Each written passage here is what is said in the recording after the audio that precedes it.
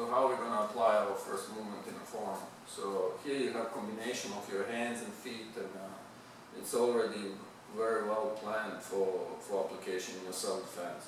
So let's say I'm uh, reaching for Leo, so, so, so he's standing like that, I'm reaching for Leo to grab him or something. So you see, first thing he did, he was shifting weight to get out of line.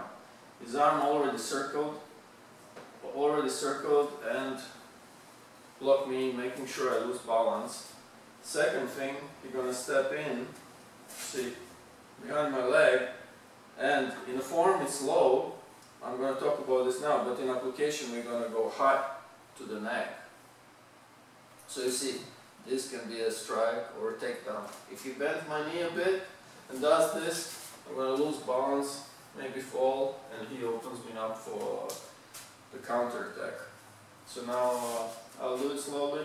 So see, if person is uh, punching me or grabbing me, I'm shifting my weight and I have to make sure to to hit him hard on the high line so he loses balance. Now, you're stepping behind him and then depending if I'm too close, you're going to hit with an elbow, your arm's going to open up and this alone could make a person fall. And then you can punch them. The second variation, when he punched, I did a circular move, more absorbing a person, and then strike. And also, when you block person, you can hammer with the with the whip. That's one application, or go in deep and uh, throw a person down and hurt him. So now, depending on the height of the person, if I'm tall, I might hit him with an elbow, or or forearm or hammer. Now it's clear, if I go to punch him and he blocks in, and I'm blocking harder, yes, and now he goes in, you see, he might hit with forearm, and uh, that's how it's going to look in this in this relationship. And I'm open for his strike.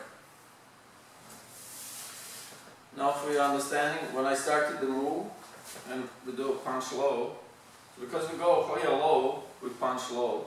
So you, in a form you're going to have a low punch, middle punch and a high punch. So you're learning how to punch low in the beginning. And even this first move we do low and many times we apply it high. But the reason is when person punches, if I block him, if I can go low with my hand, it teaches me how to go above that arm. Because for me to hit him here, I have to be on top of his arm. So this is teaching me to, to enter on a person. So let's say you don't, you don't want to injure him that much.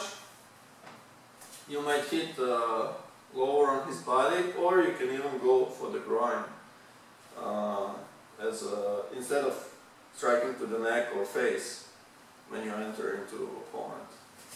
And if you see in the beginning of the first form you already have one very important principle because when person punched me I could have just punched him back, but this form is teaching me how to bridge a gap and take a person down and finish the fight. So you see, we go closer to opponent and we, we have to know what to do when you go into your opponent.